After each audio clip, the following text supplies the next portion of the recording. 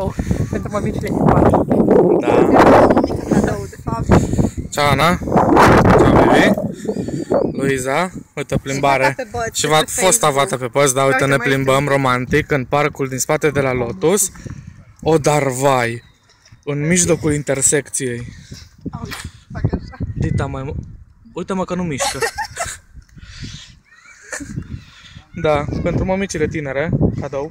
Și le uitat are vreuna în parc. Pentru a ne Da, foarte frumos. Deci suntem în parcul de la... Salut!